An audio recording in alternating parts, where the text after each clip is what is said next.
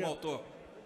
Queria apenas agradecer aqui ao plenário. A gente fez um debate dentro da comissão da 870.